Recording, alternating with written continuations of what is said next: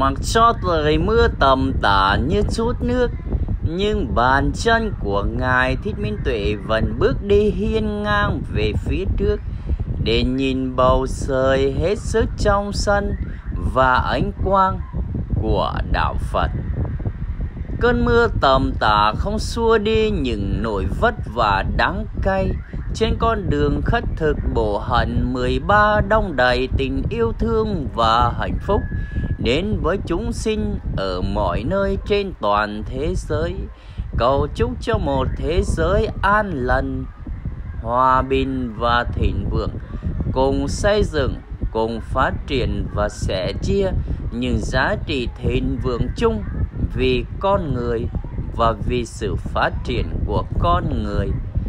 Cơn mưa mùa hạ như chút nước, như ông trời đã hóa được lòng người cảm thấu được nỗi vất vả và gian truân của người con Phật đã tới đây. Bàn chân ấy nói lên rằng sau cơn mưa trời lại sáng, ấn bình minh lại lên, hoa sen lại nở. Ngài đã đắc đạo trở về trong tình yêu thương của đồng bào, của tất cả chúng sinh. Nhìn những hình ảnh và những cơn mưa chúng ta thật xúc động về mùa hè đỏ lửa. Năm 2024 tại mảnh đất Bình Trị Thiên khói lửa, nơi sản sinh ra những hiện tài của đất nước, cũng là nơi Bắc Nam chia đôi, lấy sông Bến Hải vì tuyến 17 ngày và đêm đầy nhung nhớ và xót xa với bao dấu ấn của lịch sử về một sự chia ly 21 năm mới bắt đầu được gặp lại.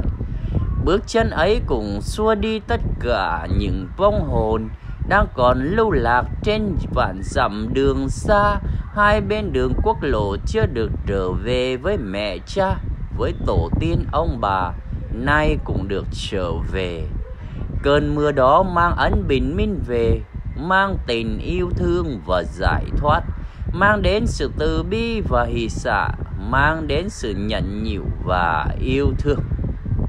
Con tàu dường như đã rời bến chở tất cả mọi một chúng ta, quay hướng chuyển đổi duyên căn.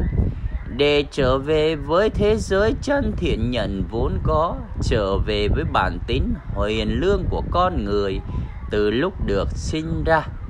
Nhìn vạn vạn người theo ngài trên mọi dặm đường xa chúng ta hết sức tự hào và ngưỡng mộ về vị chân tu vĩ đại của Việt Nam Ngài Thích Minh Tuệ trong thế kỷ 21.